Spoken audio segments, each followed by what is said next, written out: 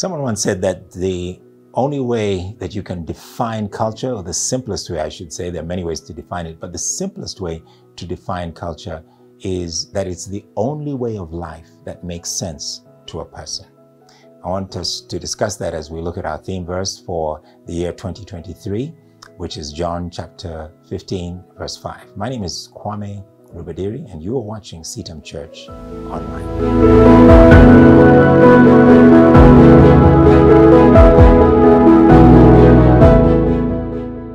Verse 8 of chapter 15 of the Gospel according to John, Jesus says that this is my Father's glory, that you bear much fruit and show yourselves to be my disciples.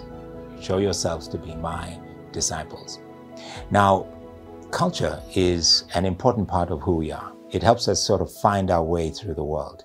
We understand various nuances and how things are done in the culture in which we live.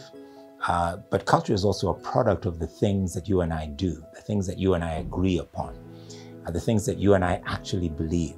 And if we believe that the Lord Jesus Christ as Savior wants us to have onward and constant connection with Him, then He is forming a culture because more and more of us who believe that, more and more of us who actually make that a part of our lives, will begin to behave in a way that's consistent with His Word, consistent with the kind of character that God wants to have produced and exemplified here on the earth.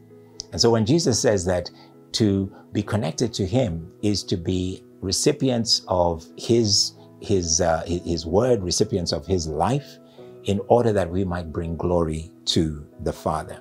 And we do so by bearing the kind of fruit that says that we are followers of the Lord Jesus Christ. And the more of us that are connected to Him and connected to one another, the more of us that live lives in that way, show that we are disciples, we are followers of the Lord Jesus Christ. And that presents to the rest of the world that this is how Christians are to live. This is how those who are followers of Jesus Christ and those who are children of God the Father are supposed to live. We present a whole new culture. We present a whole new way of life.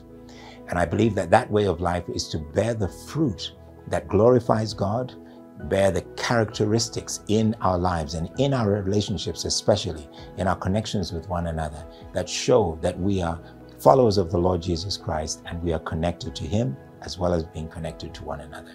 If you want to glorify God this year and be in His presence at all times and, and, and receive the benefits, the ingredients for our lives from His presence, and if you and I do that on a regular basis and we connect with one another as we remain connected with Him, we will truly be the disciples that bring glory to God.